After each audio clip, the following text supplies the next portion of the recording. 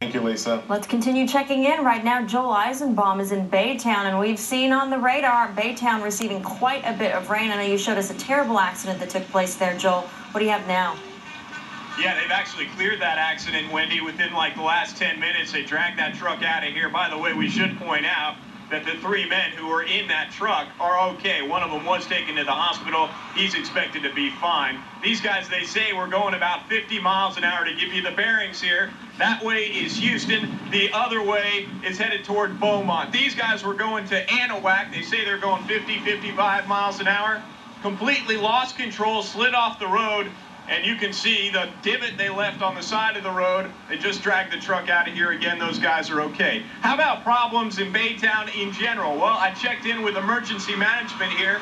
Remarkably, even after four hours of rain, and it has rained pretty consistently here and pretty hard. Uh, not a lot of wind, but it's rained pretty good. They say they haven't had any trouble on the roads. In fact, they let some of their officers they had them working around the clock. They let some of them off. That doesn't mean they're not prepared. In fact, they have uh, guys that are ready to pick off any debris on any of the streets where we've seen quite a bit of water on those streets.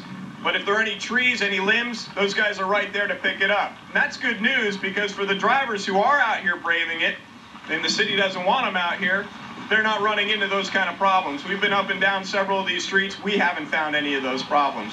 Other than that, electricity is on. City functions in terms of you going into uh, trying to pay a traffic ticket or something like that, it's not happening. Not today. They're all closed. Local businesses it's kind of hit and miss. We'll check back in with you in just a little while.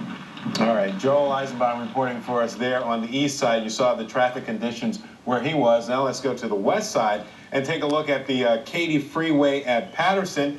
Here you can see uh, traffic moving just fine. Uh, slick roads out there, so of course people are being careful as they move through. And I must say, it looks like you know we're starting to see traffic pick up a little bit, at least on uh, this freeway, with uh, people trying to get to where they need to go. A little bit, but from east to west, the picture is that it's uh, gray, it's rainy, and slick roads out there. Of course, we are staying on top of it all for you right here at Local 2. Stay with us. We'll be right back.